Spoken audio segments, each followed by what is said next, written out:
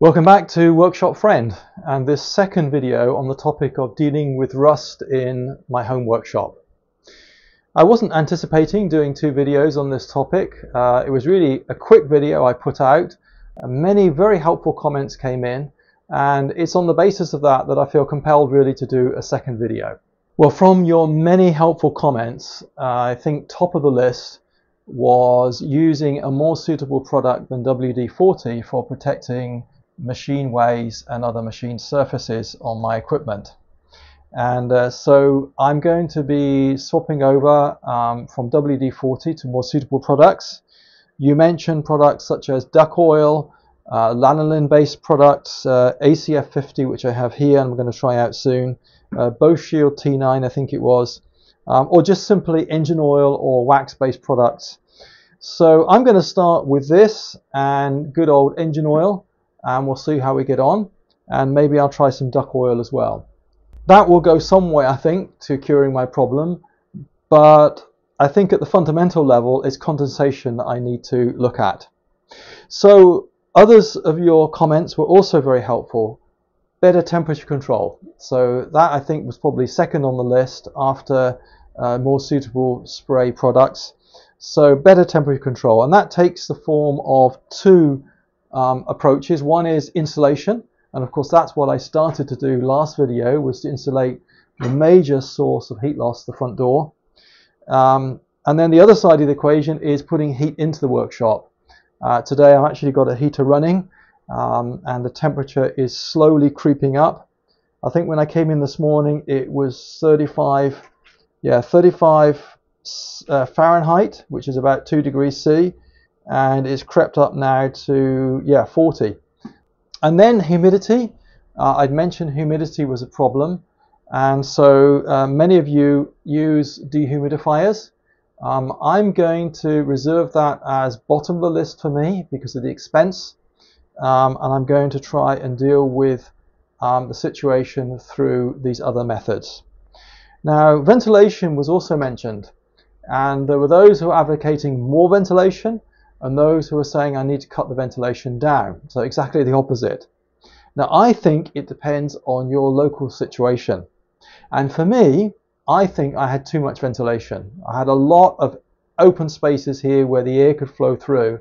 And I think for me what was happening was the workshop was cooling down in cold weather, even cold dry weather. And then what would happen is the weather would suddenly change, warmer, more humid air would come through and because of the leaky workshop space here that humid air would come in and cause condensation on the cold machinery, the cold surfaces. So the first thing I needed to deal with was ventilation. I had too much ventilation in this workshop with a leaky front door and also a massive hole up here which goes into the loft. Now the loft space is insulated up in the eaves but this more than one square meter of open space which I'll show you, was a problem. I've made a trap door and um, I made it out of scrap, that's why it's this kind of shape. And I'm going to insulate this so that uh, the trapdoor itself will be, um, you know, will minimize heat loss. Uh, it's also got, um, um, I'm not sure what you call it, a jamb, a door jamb around the outside there so it minimizes airflow. And I blocked up this space around here which was also open. So that's why I think in my workshop ventilation, excessive ventilation was an issue. I'm also um, filling in the eaves with this um, foil backed foam which I'm cutting to shape and um, fitting in there and actually that's going in very easily. Uh, it's quite nice stuff to use. Yes, so I'm working around the garage space. Now at the same time I'm also having to apply woodworm treatment so I'm uh, uh, before I cover up uh, areas which will then be inaccessible, I'm just applying that spray as I go around. So I'm going to continue doing that. Um, I'm leaving the heater on and we'll see as I work through the day if the temperature comes up as I put a little bit of heat, it's only one kilowatt, into the workshop and try and improve the insulation and reduce the Uh, ventilation.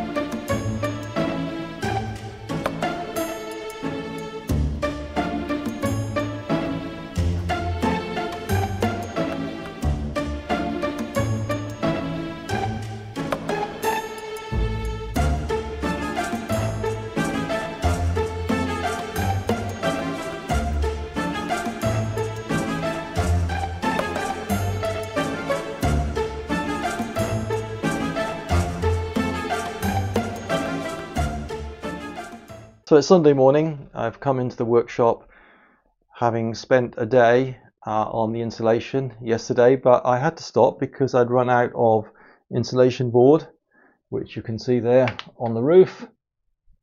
Um, two thirds of the roof or two thirds of the ceiling have been completed, but this portion is still to be done, including the hatch door.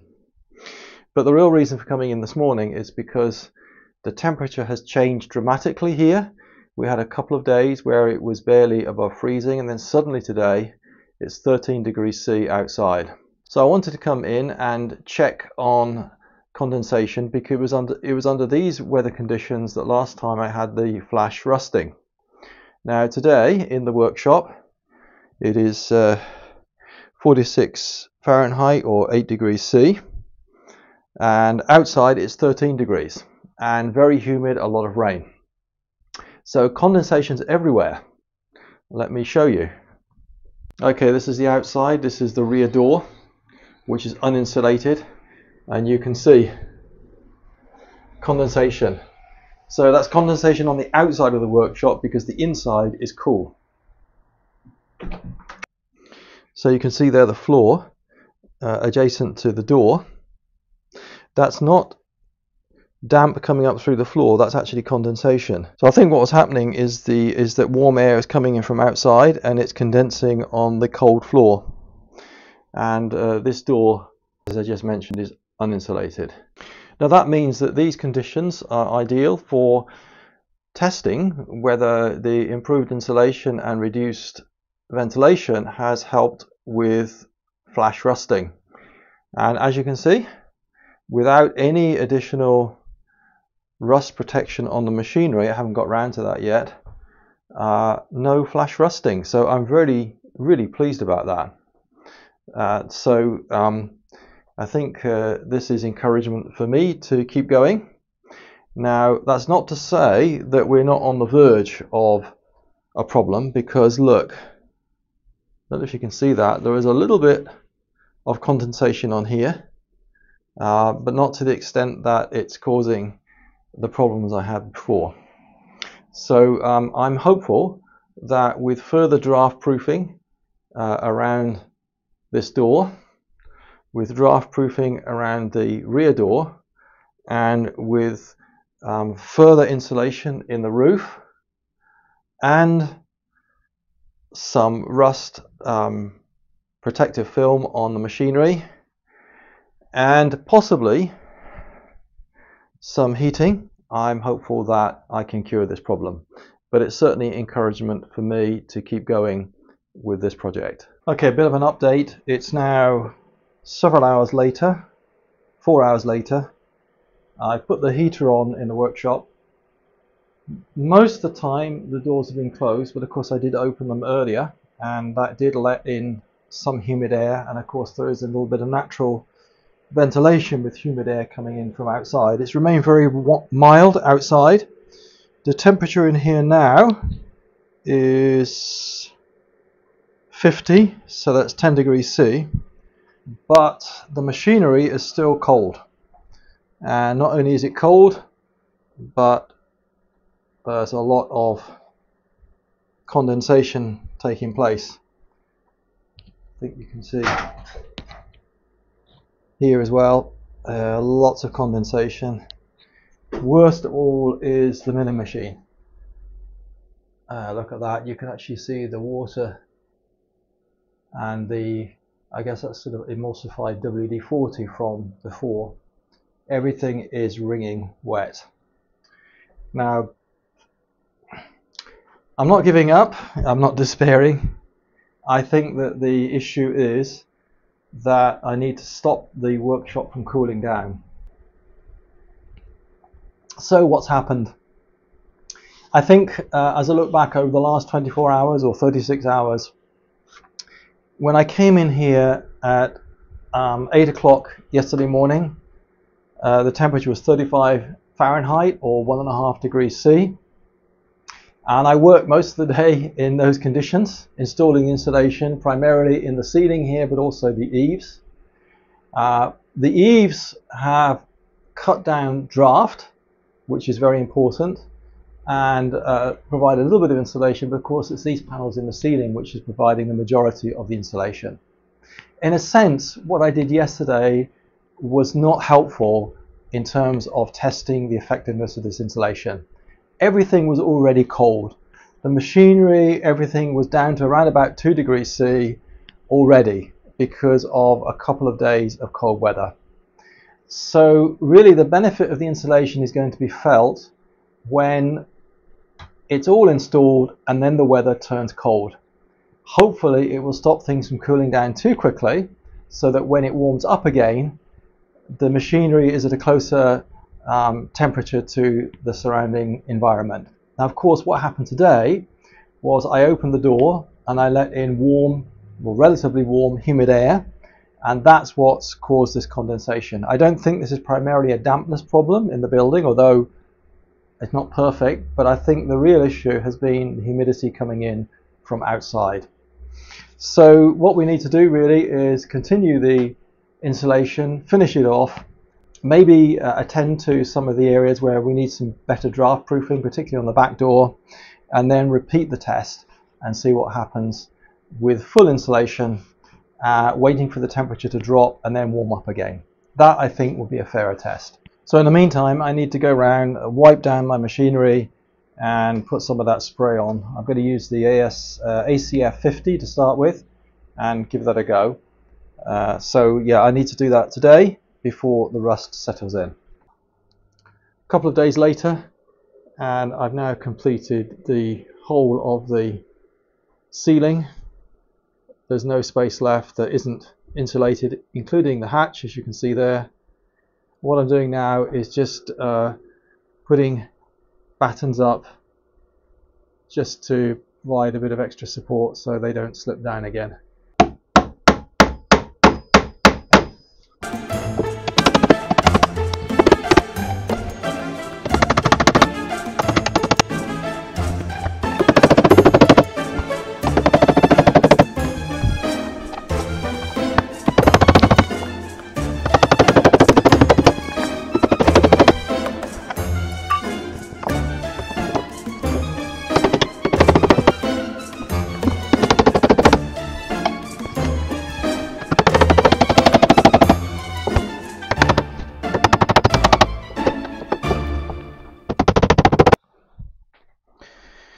So this is a graph showing the ambient temperature for where we live. That's this pencil line here. And the temperature in the workshop showed by the crosses and um, represented by blue and red lines. Now the blue lines represent when the heating's off and the red lines represent when the heating comes on. So you can see that whenever I operated the heater the temperature went up in the workshop and I operated the heater one, two, three, four, five times in the past week. And uh, this was just for an hour, I think it was, or half an hour, but these were for extended periods. And it's interesting that um, Sunday was when I recorded that there was condensation in the workshop and indeed outside the workshop on the outside of the rear door. And you can see why, because the night before we went down to minus 5, and in the daytime the next day went up to plus 14. But the temperature in the workshop was obviously somewhere between the two, and the workshop was cooler than the outside temperature. So that's when we got condensation. And uh, that that's something to watch out for. So at the beginning of the week, this is when I started to put the insulation in the roof and I did most of the work on this day and I completed it here. And uh, you can see that um, we had a very um, low temperature and um, we managed to raise the temperature inside the workshop a little bit. Um, now here um, we've also had a couple of cool nights. Um, so minus 2, minus 2, 0. So there's been opportunity for the workshop to cool down somewhat. Um, but what I find more interesting is that as time's gone on, the length of the line when the heating has been on has increased. You can argue about where they are relative to each other, but the length of the line has grown. And I think that reflects the improved insulation in the workshop. So that's a good sign. Now, something else I'd just like to uh, share. In the workshop, I've got uh, a lathe, milling machine, shaper, um, smaller lathe, pillar drill, and some other equipment. And I reckon there's about 2,500 kilograms, roughly, of cast iron in all of that. So about two and a half tons. And we can do a little sum to look at how much heat needs to go into the machinery to raise the temperature. So the calorific value of cast iron, which is the majority of what my equipment's made of, is about 550 joules per kilogram C. Let's just see what happens if I raise the temperature from 2 to 10 C. So a difference of 8. We can do the sum for that. So that will be 554 times um, our mass, which is 2,500 kilograms, times a temperature difference of 8 degrees C or 8C, and that equals around about 11 megajoules. Now, I've been running a 1 kilowatt um, electric heater, and if I run that for one hour, I will get 1000 joule joules per second times 3600 seconds and that works out at 3.6 megajoules per hour. So that means that if I want to heat up the equipment by 8 degrees C, um, it's going to take me 11 over 3.6 which is around about three hours so that tells me that regardless of my insulation if I have perfect insulation I just need to put three hours of heating of a one kilowatt fire into my equipment to raise its temperature from 2 to 10 degrees C and I think that's interesting fact. Well that concludes the second video on trying to eliminate rust from my workshop. Uh, in a future video, I'm going to be comparing different kinds of rust inhibitor and seeing how effective they are, at least for me, in my workshop.